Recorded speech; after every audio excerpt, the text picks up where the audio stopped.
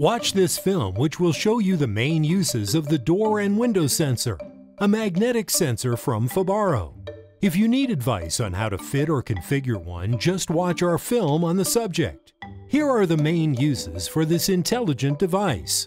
The FIBARO door and window sensor is the basic alarm device in any intelligent home. The sensor is a burglar alarm, ensuring the security of the householders.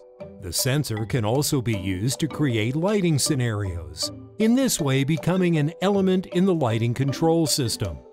Another way of using the device is as an element of the heating control system.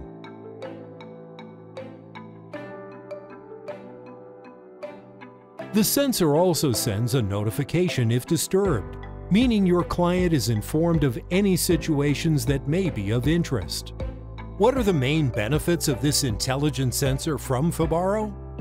This FIBARO device is the smallest sensor available on the market. The sensor contains four functions in one device.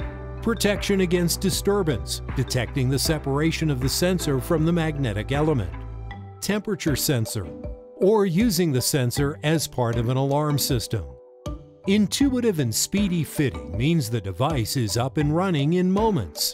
The FIBARO door and window sensor provides a wealth of uses in dozens of places worth protecting, like roof windows, normal windows, front doors, garage doors, fridges, cupboards, entrance gates, or medicine cabinets. The battery supplied has a life of up to two years, and the sensor warns you when it needs changing. So, now you know more about the FIBARO door and window sensor.